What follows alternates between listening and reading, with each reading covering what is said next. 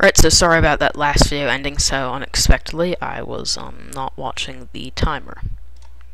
Since I still haven't gotten the full version of anything, it's limited to 10 minutes. So, the obstacle brush. There are a ton of different brushes here that you can use. One by one styled tall, these are erasers down here, and fuzzy erasers. And then this is um, fuzzy brush and regular brush.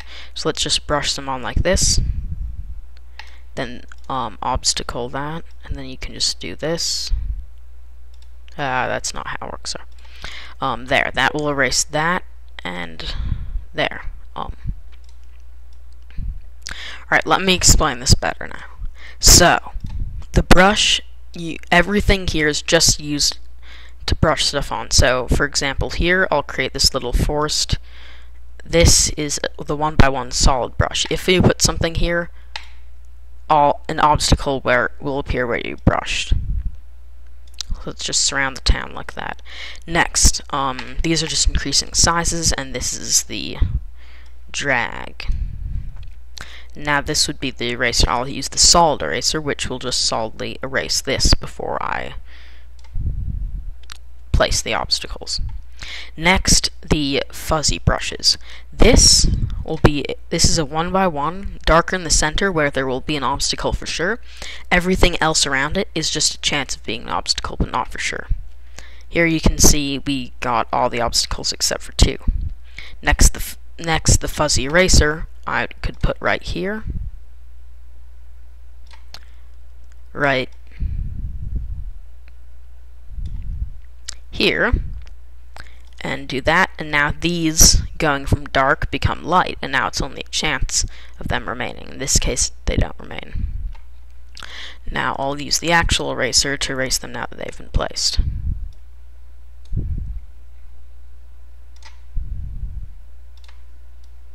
So you could do this, and um, with the fuzzy eraser, let's just use a smaller one. This should work so that, there, some of the surrounding squares are full and some are empty. Now just going to undo that and get rid of it all. So that's basically how to use the obstacles. Now I'll um, go on to some objects placed on the ground here. And scrolling down to the bottom list in the swamp, you can find all of the mines. So I'll give one mine of each type to this island. And I need to throw in a boatyard. That appears on the all terrain objects, along with creature generators and most other things you can find here.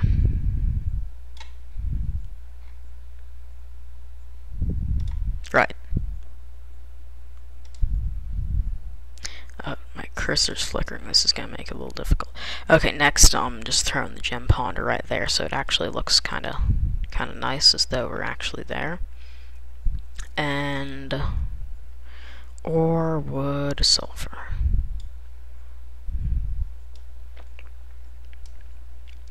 And so these items here are just completely drag in, drop them down.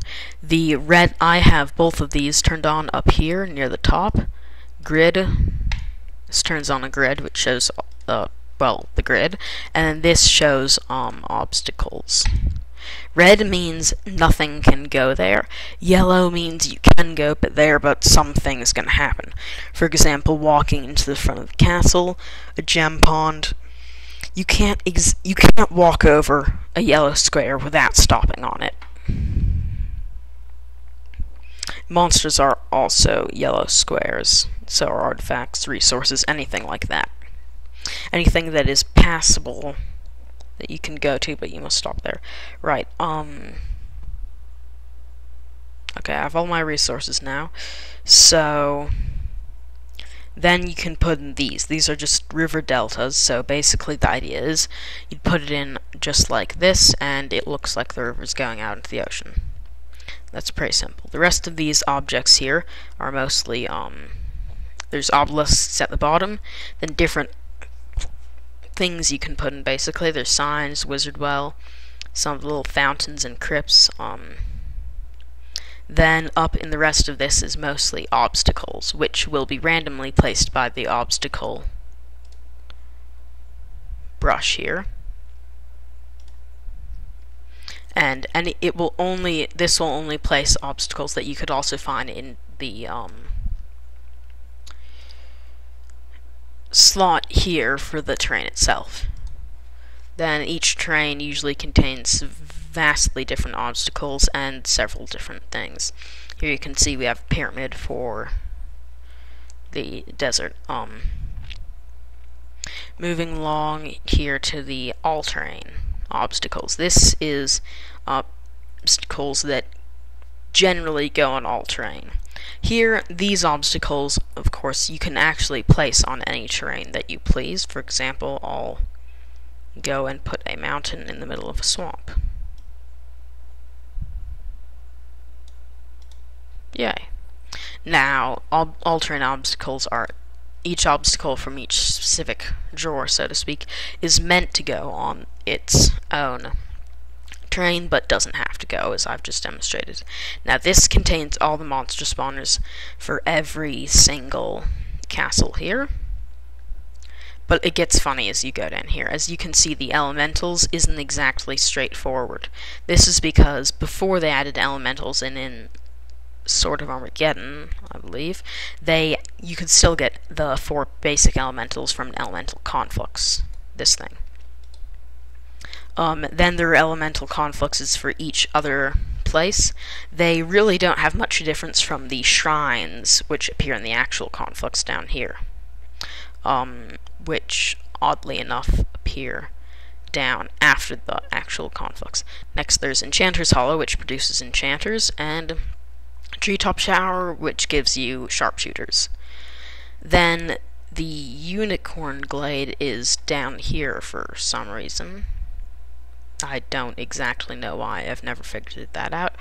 But it also appears up at the top in the um, ramparts creature dwellings.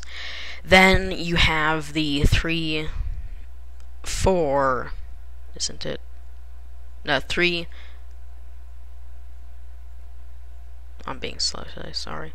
Four ultimate epic whatnot dragon stuff. Um, this, yeah, it gets confusing down with conflux here.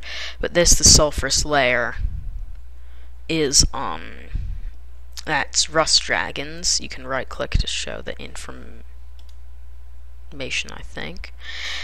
Then going down, we have Azure Crystal, I want to say. Failed to launch help. Okay. Okay, just close that now and fairy dragon dwellings. Next, from this little thatched hut, you get the halflings, which are very weak but can throw stones and come in large numbers. Then from the hovels, you get the weakest creature in the game, peasants, which are kinda a, just a joke. They have one attack skill, one defense skill, one health, and three speed. The only advantage is that they come in gigantic numbers. I believe you get um 30 to 50 a week from the dwelling. Then there is the mummies, the nomads, the rogues, and the trolls. And, um, there, Borden, Boar Glen. That gives you the boars.